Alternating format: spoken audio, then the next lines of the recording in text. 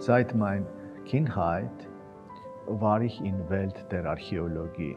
Mein Vater war ein Archäologe und viele dieser Artefakte habe ich während Ausgrabungen gesehen. 1989 war ich zum ersten Mal in Deutschland als Doktorand und während dieses Aufenthaltes habe ich vieles gelernt. Und vor allem habe ich zum ersten Mal gesehen, wie man in Deutschland eine Grabung organisiert.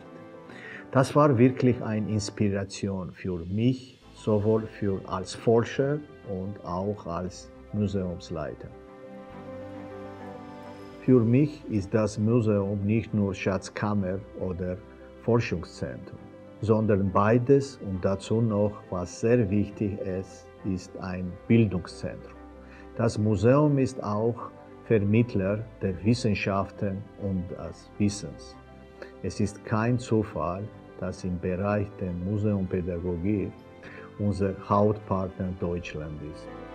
Was die Migration der Kulturen sowie die Kulturen der Migration betrifft, im Grunde genommen handelt es sich für mich um den Prozess der Bereicherung der Kulturen dank der Kontakte und vor allem dank dem Austausch.